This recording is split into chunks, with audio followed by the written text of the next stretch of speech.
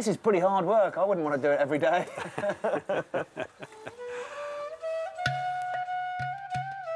The style of agricultural production at Bhaktivedanta Manor certainly wouldn't suit the majority of farmers living in Britain today. But the Hare Krishnas here want to buy more land in the future with the aim of becoming completely self-sufficient. They also hope to sell their own ethical products in selected supermarkets.